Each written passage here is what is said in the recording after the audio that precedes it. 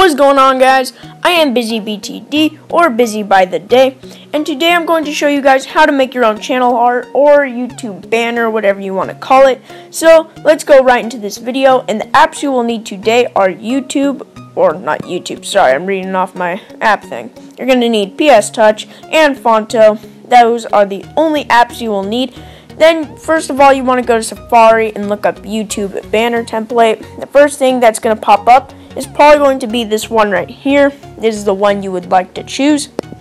Once you have done that, go ahead and choose like HD or oopsies, HD material background. And it doesn't matter what size it is, so I already have my picture picked out. So just choose something like this or whatever picture you would like. You can always do any of them. So let's go right into Photoshop. Let's don't save this. Let's make one. So what you're going to want to do is go to 2560 by 1440. And then you want to click OK. Pretty simple. See this layers button in the bottom right corner with the two pieces of paper and the plus mark. You want to click that. Then go click that plus mark in the bottom right again. It'll say photo layer. You want to just click on that. Then you'll see photo library, camera, creative cloud, clipboard, and you want to click on photo library. And you're going to want to click your text or your text, but your banner template that you chose. And you're going to just size it right up. And the way to size it like I just did, I will show you in a second. There we go you just want to lock the aspect ratio. So it's going to be like this to start out. Just want to click on the middle one and then you can do what I just did. Then you're going to want to click on that layers button again. Click plus again. Go to photo layer, photo library.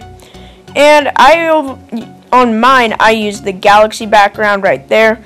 But we're going to use this material one right here. And you just want to go want to go ahead and size this one up too. Let me just fix this real quick. I'm having a bit trouble right there. There we go. And it is sized up perfectly. Then what you want to what you want to go and do is click the layers button again and then see these little circles in the top right or top left corner of your little pictures. You want to click on them and that will hide the image. Let me just do that again. There you go. And what you're going to want to do is go to photo layer, photo library, and click the exact same picture. So now what you're going to do is see this little middle part where it's the template where it's going to be. You will just want to size that right up like that. And don't be like not don't be shy, but don't be afraid if you go over it like I just did. It automatically sizes it up for you. But let me fix that a little bit. I think I sized it up pretty bad. Let's do that. There we go. That's perfect. And then you're going to want to unhide this by clicking on it again. And I usually prefer to make my images black and white like that. Or, yep, that. There we go. Then go like that. And that's always up to you guys. So I'm going to not make these black and white. So let's just undo that real quick. Oopsies, there, there we go. Alright, so now you have your picture. What you're going to want to do is click done and save your project. It's going to take a couple seconds and then you're going to want to click this button right here. Go to save to camera roll and then go to PNG instead of JPEG and click on the photo you do want. Then go OK. So now that your picture is saved, you're going to want to go right into Phonto. And now once you're in Phonto, you want to click this little camera right down below. Go to Photo Albums. And you're going to want to go to your camera roll. And you want to pick the photo that you just made. So now you have that. And so just add whatever you want. Like, I'll use some random font like Luckiest Guy. I'll put my name and so I'm not going to make this like a crazy background or anything because I'm not going to use it. And to make your thing look really cool, what you want to do is go to your text, do style, create color pattern, and it gives you this one, which is probably the nicest one you can do.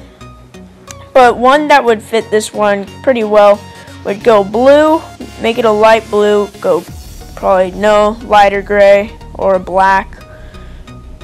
I'd go probably like, oopsies, did not mean to do that guys. I would go like that. Then you want to click on stroke, make the alpha 1, make this a little bit thicker, go style, do that type of shading, and look at that, makes your text look really cool. And then you can add what, like whatever you want, put some random things on there. And then once you're done, you can go save the image, go out of Phonto, go into YouTube. I don't want to like go onto my channel so I don't mess anything up, but that's all you guys really need to do to create your own channel art. It's very simple, very easy. It's one of the easier things to make. And I will be making a tutorial if you guys do want it on how to make your own YouTube logo like mine. And if you guys do want to see that video, drop a like down below and comment down below what you guys do want to see me do in the future. So, thank you guys so much for watching, and I will see you guys in the next video.